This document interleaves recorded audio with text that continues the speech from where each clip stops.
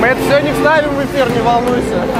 Вот давай также во время матча рассуждать только о других темах. Все супер будет.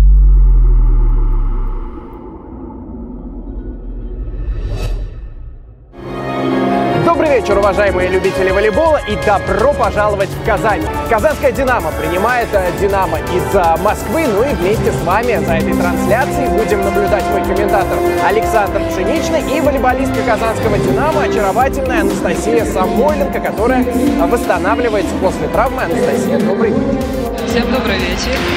Анастасия получила травму колена на старте сезона и сейчас продолжает она реабилитацию. Мы тебя, конечно же, пожелаем скорейшего выздоровления, возвращения на площадку. Спасибо большое, спасибо огромное. Анастасия, вам ли как не центральный блокирующий знать, как сегодня «Динамо» будет тормозить атаки Натальи Гончаровой?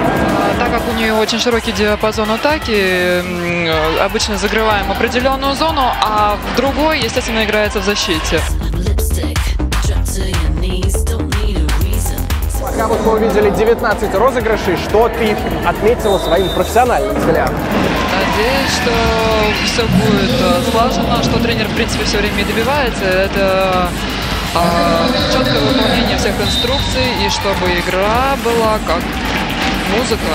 И мы не просто играли, а с душой вкладывались э, в каждый элемент и выполняли все указанные действия. Вот, пожалуйста.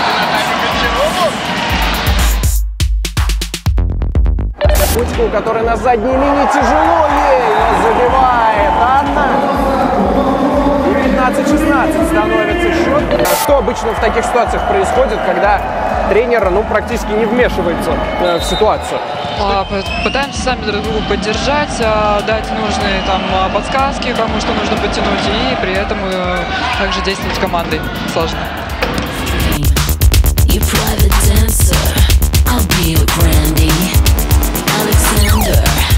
На двойном блоке вновь цепляем атаку Гончаровой. И есть еще один шансик. Кадочкина. Мяч проваливается. Три атаки подряд. Кадочкина реализует для казанского «Динамо». Скажите, пожалуйста, у нас реклама сейчас или как мы работаем? Пауза, не пауза, молчим, не молчим, продолжаем говорить. Traces.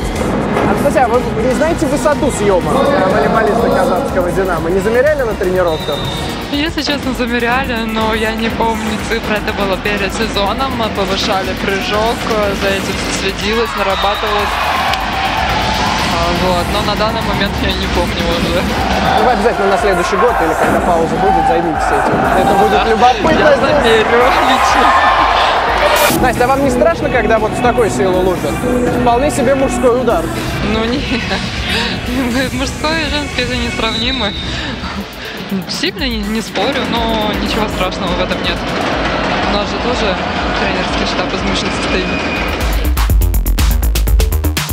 Знаю, Татьяна Кадочкина, у нее характер, да, это уже такой прям приличный. Это все видно при эмоциях. Сейчас бы микрофон повесить на ее футболочку и послушать, что из этого пройдет в эфир. Э, Думаю, не все далеко. Но и миллиметры. Посмотрите, действительно миллиметры. Не расплющился мяч. Настя, а вам показалось, была площадка или аут?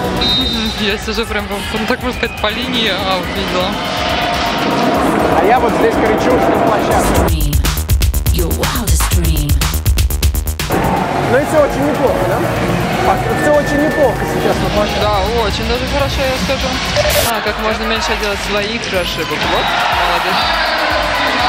Второй раз матч Евгения Старцева. Порой бывают глаза на спине у Евгении Старцевой, на затылке. Вопрос, какого цвета они, ну а то, что они есть, это вы видели сами. А я воды напился, пойду это. Бавыкина вновь хороший прием. Цепляют атаку Королевой. Проваливается мяч. Идеальная доводка от Котиковой. Есть съем и есть э, матчбол у казанского «Динамо» 24-20. Анна Котикова подает на матч. Столярова, ошибка, победа. Победа! С отчетом 20-25, 25-22 и 25-19, 25-20. Казанская «Динамо». Вы посмотрите на эти эмоции. Поздравляем вас, Анастасия, всех болельщиков э, казанского «Динамо». Вместе с вами был комментатор Александр Пшеничный и волейболистка казанского «Динамо» Анастасия Самойленко. Всем спасибо. Ну и, как всегда, одна простая просьба – не болейте, а болейте за свои любимые команды.